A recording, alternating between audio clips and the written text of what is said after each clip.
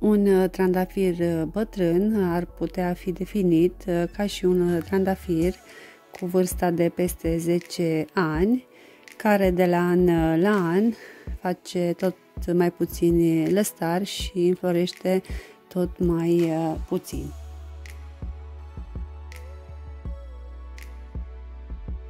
Cel mai evident mod de păstrare a unui trandafir bătrân este înmulțirea lui uh, prin butași, butași care vor uh, face exact uh, aceleași flori.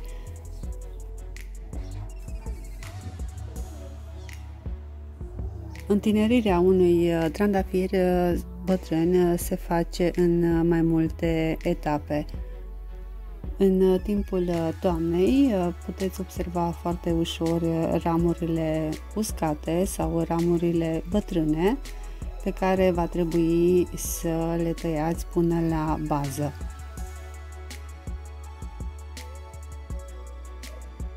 Apoi se urmăresc lăstarii cei mai tineri, formați în anul în curs sau anul trecut, pe care îi vom lăsa și îi trebuie scurtați până la al șaptelea mugur, iar lăstarii ceilalți mai vechi până la mugurii 3-4.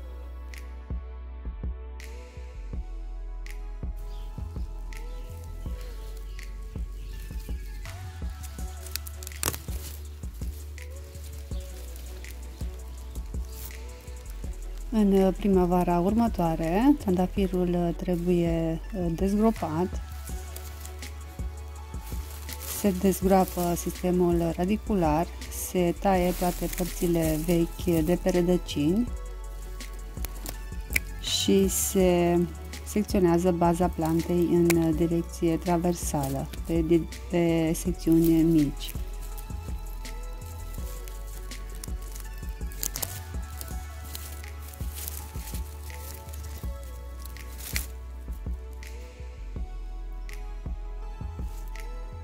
Apoi uh, se acopere baza plantei cu un uh, sol uh, foarte bogat în minerale, poate fi îmbogățit și cu humus, iar apoi se pune un strat generos de mulci, format din frunze,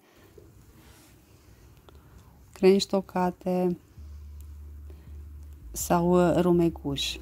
Datorită acestei proceduri, din secțiuni se vor forma rădăcini noi.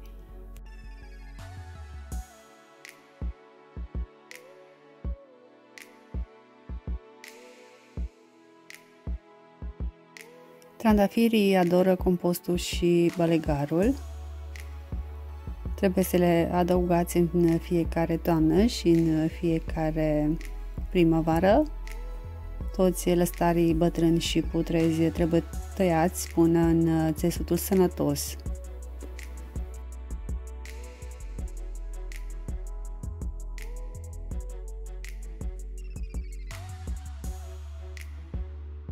O altă metodă pentru ca și trandafirul să genereze lăstari noi și puternici este bicarbonatul de sodiu. Se face o soluție din uh, bicarbonat de sodiu, apă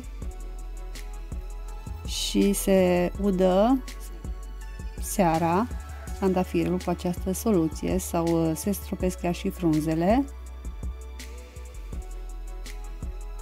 de vreo câteva ori pe săptămână, iar drept rezultat tufa va începe să se renoiască.